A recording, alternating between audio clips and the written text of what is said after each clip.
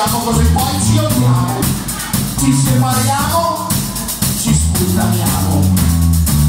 Con le foto su Instagram con la nuova metà, che poi conoscevamo già, ma che